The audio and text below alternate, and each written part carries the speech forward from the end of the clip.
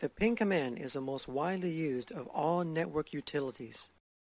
It's a tool that is used to test issues such as network connectivity and name resolution. For example, let's go ahead and ping a host IP address. So at a command prompt, you would type ping space, then the IP address, then press enter. Now it's going to send out four data packets to the destination IP address we chose.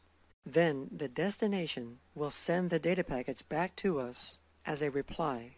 And these replies are called echo reply requests.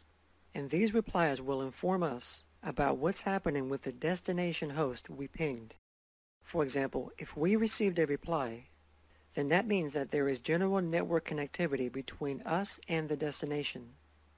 But if we did not get a reply, then that means that there is no reply from the host and it could mean that there is no network connectivity between us.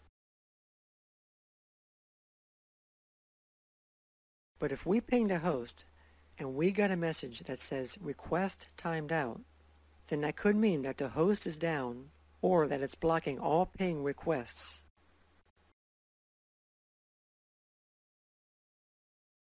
Or, in another scenario, after we pinged, if we get a message that says destination host unreachable, then that message is coming from a router, and it means that a route to the destination cannot be found.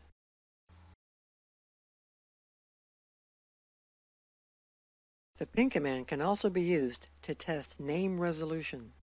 For example, before we used the ping command with an IP address, but we can also use it with a domain name. For example, we could type ping space then the domain name yahoo.com. So by pinging the domain name, if we got the same successful result as typing the IP address, then this would indicate that name resolution by DNS is working fine. But let's just suppose that the domain name ping failed. Then the next step would be typing the IP address instead. So if by typing the IP address, if the ping command was successful this time, then we now know that we are having a problem with DNS. The ping command can also be combined with other subcommands called switches. Switches are used to alter the parameters of the ping utility. You can view a full list of these switches by typing ping space forward slash and then a question mark.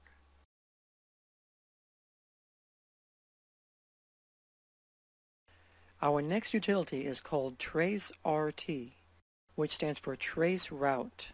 This utility is used to see the exact path the data packet is taking on its way to the destination. So for example, let's go ahead and trace the route from our computer to another computer. So at a command prompt, we would type trace RT space and then the IP address and press enter.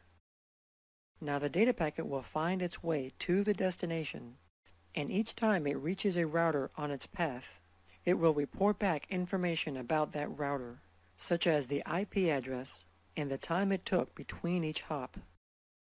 So the Trace RT utility is a great tool that can be used to pinpoint where a problem lies on a network if a data packet cannot reach the destination.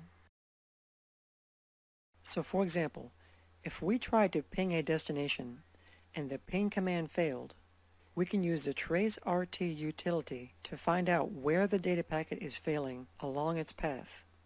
So let's go ahead and trace route this IP again, and let's suppose this time there was a problem. So let's type in trace RT and the IP address, and as the data packet goes along its path, it will tell us at which area the problem lies. And the data packet stops in here. So the trace RT utility has isolated that the problem is somewhere between these two routers.